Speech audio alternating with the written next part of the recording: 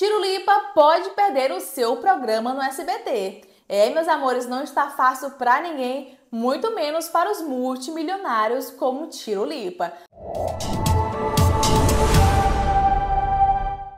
Pois é, ele que recentemente ganhou um programa chamado Circo do Tiru, lá no SBT aos sábados. Esse programa já está na corda bamba, porque o único patrocinador dele caiu fora, gente, pulou do barco e assim, gente, é uma cota assim bem simples, bem simbólica, de 26 milhões de reais, gente. Só isso para manter um programa desse. Somente isso.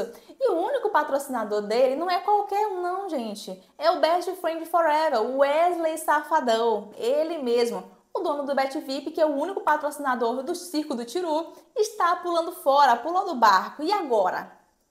Como que vai ficar o Circo do Tiru, gente? Aí virou uma incerteza, né? Será se o SBT vai bancar tudo isso? Vale ressaltar que o SBT está ó, reduzindo, está demitindo, está ó, apertando o cinto porque as coisas lá não parece que não estão assim tão fáceis, né? Então eu acredito que o Circo do Tiru não vai ser bancado pelo menos por esse valor, pelo SBT. Agora, ai do Tirulipa e atrás de outro patrocínio, né, altura, que consiga bancar toda essa estrutura. Vale lembrar, gente, que é uma mega estrutura. E lembrando também que esses 26 milhões de reais, assim, tentando justificar, né, eu acredito que seja uma justificativa, é porque, para quem não sabe, o, o SBT que vai até o circo, não é o circo que vai até o SBT. Né? O circo não é montado dentro lá do, do SBT.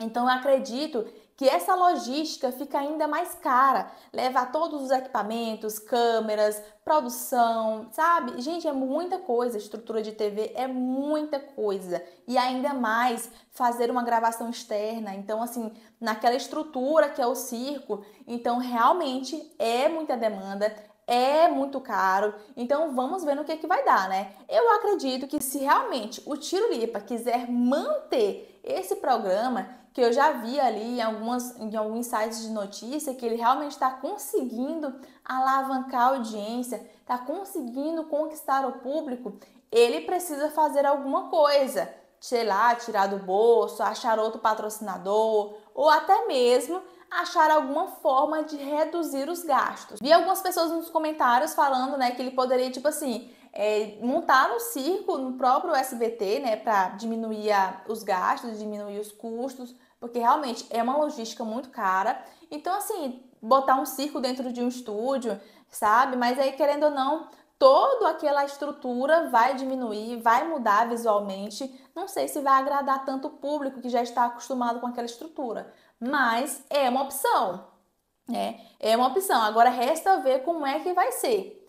Coisas de milionários a gente não entende, né? A gente só fofoca. Então vamos aguardar para ver no que, é que vai dar. Mas e você, gosta do programa Circo do Tiru? Você assiste todos os sábados? Ficaria triste se o programa fosse tirado do ar? Já deixe aqui nos comentários a sua opinião.